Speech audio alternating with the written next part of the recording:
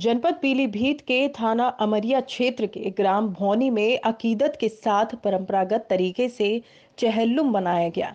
परंपरागत तरीके से चाँद की 21 तारीख को भौनी में चहलुम का पर्व मनाया गया, जिसमें गाँव में ताजिया बनाया जाता है और गाँव में अकीदत के साथ घुमाया जाता है। उसके बाद गाँव की करबला, जो गाँव में ही अपसरिया नदी के पास है, वहाँ ले जाया जाता है। चहल्लुम के पर्व को सभी ग्रामवासी अकीदत के साथ मनाते हैं।